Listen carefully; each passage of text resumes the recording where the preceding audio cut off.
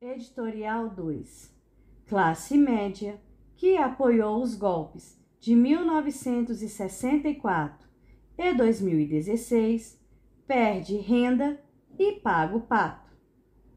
Diferente do que diz a imprensa, a queda da renda da classe média, evidenciada nos primeiros quatro meses desse ano, não é culpa direta da pandemia do novo coronavírus, e sim da economia neoliberal. Há provas disso não só na recente história do Brasil, mas também na de vários países. O neoliberalismo, adotado pelos governos Michel Temer e Jair Bolsonaro, é um projeto antipopular, criado deliberadamente para promover a concentração de renda nos mais ricos e a extrema pobreza nas demais classes. Esclarecemos que, com ou sem pandemia, o resultado desses quatro anos de política econômica neoliberal e de Estado mínimo é semelhante aos anos de chumbo que o Brasil viveu há 50 anos. Taxas elevadíssimas de desemprego em todas as classes. Privatização de serviços do Estado. Enfraquecimento de qualidade da educação pública, achatamento salarial, inflação e empobrecimento generalizado. Lembrando que o enfraquecimento da educação é essencial para impedir novos cidadãos capazes de combater esse tipo de política. Ou seja, com Covid-19 ou sem, o Brasil já está vivendo, desde 2016, a repetição da tragédia econômica da ditadura militar nos anos 1960-1970. Ao dizer que a pandemia é responsável pela perda da renda da classe média, a mídia comercial busca omitir os reais motivos dessa crise e, de certa forma, busca confundir ainda mais a classe média, que, enganada pelo discurso midiático, não se vê como classe trabalhadora. Nenhum jornal denuncia a política econômica neoliberal adotada no golpe de 2016, aprofundada no governo Bolsonaro Paulo Guedes. Essa é a mesma política que está empobrecendo a classe média. Recolocou o Brasil no mapa da fome e dilapidou o Chile e outros países que hoje enfrentam todo tipo de precariedade, pobreza e gigantescas diferenças sociais. Nesta segunda edição, ou seja, nesta continuidade do mesmo editorial que divulgamos ontem, quinta-feira, 22 de abril, explicamos por que a classe média perdeu renda no novo governo Jair Bolsonaro, ex-PSL. Informamos que era preciso esclarecer três coisas para entender a queda desse poder aquisitivo. Para isso, dividimos o editorial em três capítulos, para resgatarmos a experiência brasileira com a economia neoliberal, principal responsável por essa desconstrução social que joga todas as classes situadas abaixo da rica no mesmo buraco. É importante explicar que o Covid-19 colabora com essa perda, porém não é determinante. Ele é, na verdade, mais uma cortina de fumaça que tem escondido as injustiças da economia neoliberal. Tanto é que em 2020 e 2021 o segmento rico da população do Brasil e do mundo ficou muito mais rico. Coincidência ou não, a pandemia surgiu bem no momento em que a crise econômica abraçou o mundo e impediu manifestações fortes da classe trabalhadora, capazes de reverter os regimes neoliberais em curso.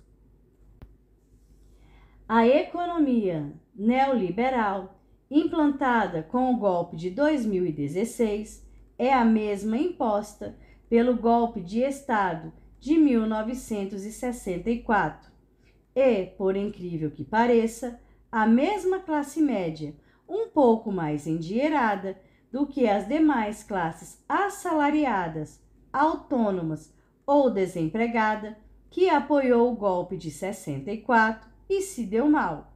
Com a crise do petróleo, com a inflação altíssima, chegando a 200% ao ano no último ano da ditadura militar, em 1984. Repetiu o erro em 2015, 2016. Apoiou outro golpe de Estado com Michel Temer, MDB, exigindo a queda da presidente Dilma Rousseff, PT, contra a qual não havia nenhuma acusação ou denúncia formal usando um discurso semelhante ao de 1964, focado nos temas de combate à corrupção e ao comunismo.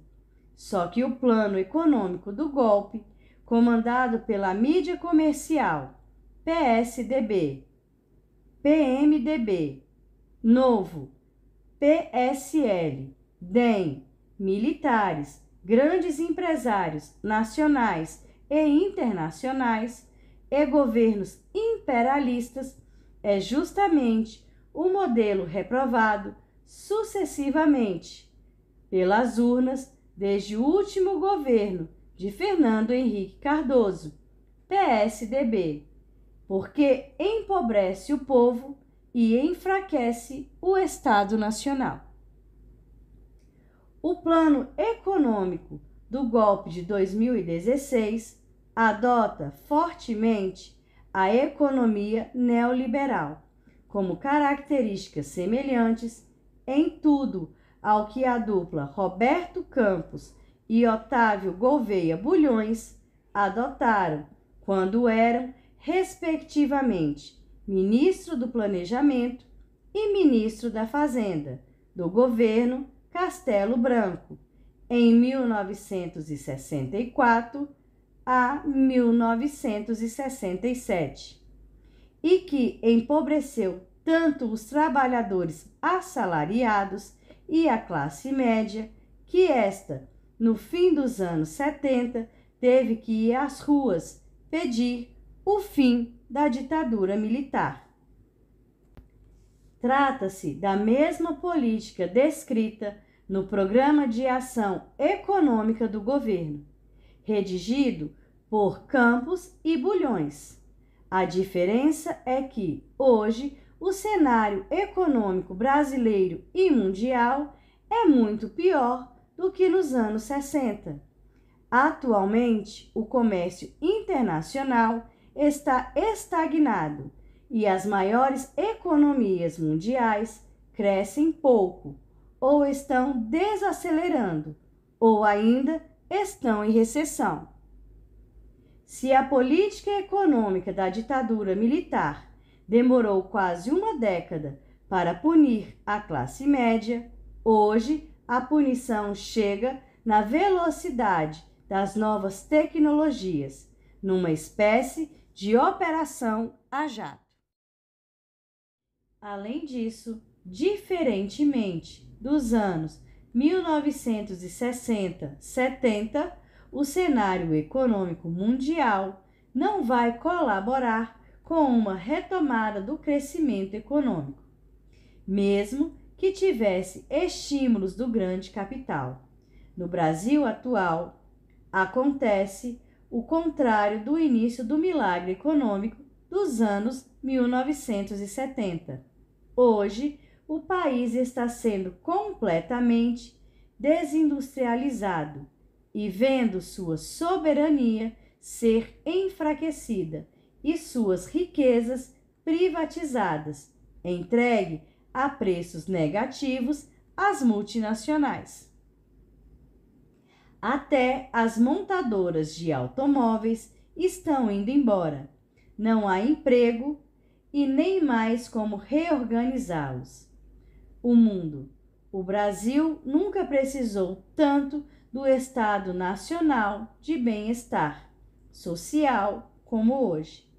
A classe média empresarial, assim como os trabalhadores de baixa renda e desempregados, precisa dos recursos financeiros do Estado e das políticas de inclusão social, de emprego, renda, educação, saúde e, como nunca, da previdência pública. Afinal, o Covid-19 está invalidando centenas de milhares de vítimas sobreviventes.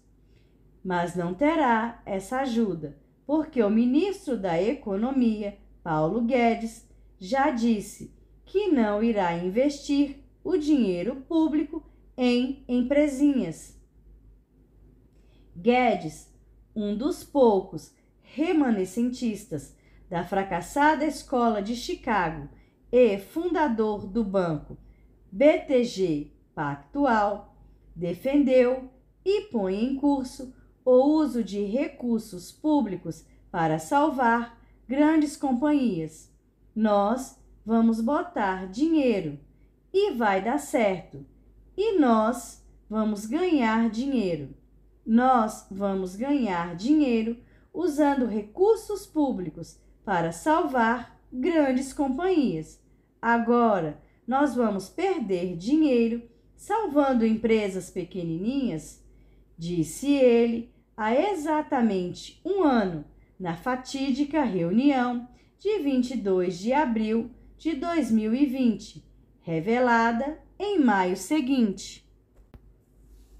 A aliança PMDB, PSDB, Novo, PSL, DEM, militares antinacionalistas, banqueiros, empresários da classe rica nacional e internacional, operou apressadamente desde 2016 para empobrecer trabalhadores assalariados ou não. E nessa classe está situada a classe média, que não se vê aí, semelhante aos anos de chumbo. O Brasil vive hoje inflação a galope, aumento astronômico do desemprego, inserido no mapa da fome. É essa política que expulsou mais de 4 milhões e 900 mil brasileiros da chamada classe média no último ano, obrigando-os a migrar para a classe baixa. Com 100 milhões de pessoas com renda familiar de R$ 2.971,37 a R$ 7.202,57 é a primeira vez em 10 anos que o grupo se iguala aos que têm renda familiar de R$ 200 e sessenta e dois reais e dois centavos a vinte centavos, ou seja, 47% da população do país. Os dados são de uma pesquisa que o Instituto Locomotiva, divulgados entre os dias 21 e 22 de março de 2021 após entrevistar 1.620 pessoas em 72 municípios no mesmo período. O estudo mostra que, de 2010 para cá, a classe média brasileira caiu de 54% da população para 47%. Em relação a 2019, a queda foi de 51% para 47%. Enquanto isso, a classe baixa aumentou de tamanho passando de 38% em 2010 para 43% em 2020, chegando em 2021 aos atuais 47%. É triste que a gente, depois de todo o crescimento que a classe média teve durante 15 anos, de 2003 a 2015, que alimentou o crescimento do Brasil chegue nesta situação. Quando a classe média sofre, todos sofrem, afirmou Renato Meireles, presidente do Instituto Locomotiva. O levantamento do Instituto Locomotiva também informou que a renda da classe média estava distribuída em março de 2021 da seguinte forma: 58% recorreram a bicos, vendeu algum bem ou abriu um negócio para ter renda extra. 39% acredita que a renda continuará diminuindo após a pandemia do Covid-19. 69% está com medo de perder o emprego. Tudo isso era previsível e foi avisado insistentemente. A economia neoliberal não é roupa que se vista em nenhum momento da história. Ao contrário, é melhor impedir que ela seja novamente utilizada em 2022. Com o velho discurso de ódio contra partidos políticos de esquerda, justamente os que elevaram o nível social de todos no Brasil e colocou comida, educação, saúde e outros direitos sociais e benefícios econômicos na vida da maioria da população e, sobretudo, fortaleceu a classe média, oferecendo a ela mais conforto e acesso a bens e serviços que não tinha. Leia aqui a primeira parte deste editorial. Editorial 1. Com a queda do poder aquisitivo, classe média começa a pagar a conta do golpe. Editorial 2. Classe média que apoiou os golpes de 1964 e 2016 perde renda e paga o pato. Editorial 3. Golpe está na origem da perda da renda das classes média, média alta e pobre.